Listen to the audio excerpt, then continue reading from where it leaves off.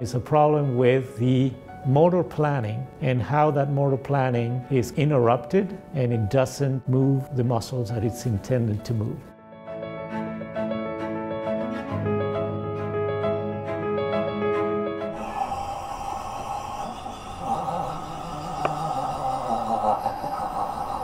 And that's what we want. That's the sound we want.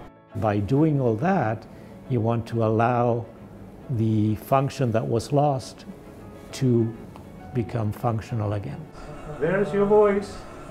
We just need to get it out. Your vocal cords are starting to reconnect again.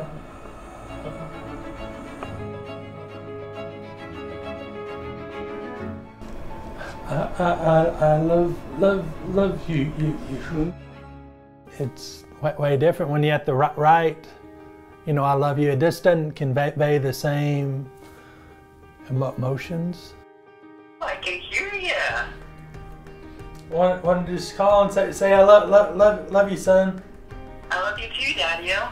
This that therapy gives you back a life that you, you didn't have and you didn't think you'd ever have again.